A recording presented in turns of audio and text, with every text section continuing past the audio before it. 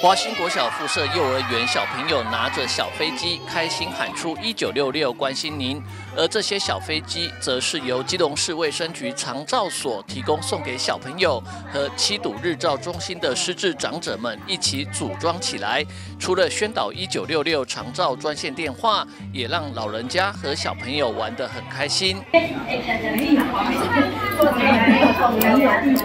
重阳节前夕，华兴妇幼特地安排小朋友到市政府委托士林林良堂经营管理的七堵日照中心参访，和失智长者们互动，认识长者，一起游戏，组装小飞机同乐。我我想要其实很简单，真的就是平安跟喜乐，就是开心。那很开心，今天在十点半去接小朋友的时候，其实小朋友因为有昨天看到我们，所以他今天看到我们就是耶，我们要来看阿公阿妈了。那不会觉得陌生，而且还会觉得期待。那我觉得这个对阿公阿妈的这样子的来关怀的那个期待感很重要。对，那希望这个期待感可以放在他的心里面，陪着他长大。而其实前一天，七堵日照中心也特地安排中心的长者到附近的华兴国小和幼儿园其他小朋友面对面。让小朋友认识长者老人家所需要用到的拐杖和轮椅等辅具，如何尊重并且照顾长辈，特别是行动不方便的老人。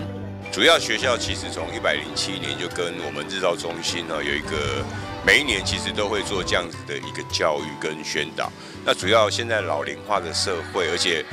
嗯爷爷奶奶对孩子的疼爱哈是很自然而然的。但是孩子怎么样去跟老老年人去做亲近，而且知道老年人一些不方便的地方，然后进而让孩子们去体谅、去关怀、去更喜欢自己，跟也是知道怎么样去跟自己的爷爷奶奶去做相处跟协助他们。我觉得这个是从小的教育。那既然我们学校有这样子的地利之便，就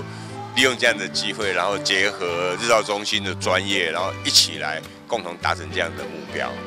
这是由七堵华兴国小附设幼儿园和基隆市卫生局长照所辅导的七堵日照中心，连续两天举办认识长者老人家的活动。而这项活动从民国一百零七年就开始进行，对于小朋友认识生命过程以及建立尊重长辈的观念相当有帮助。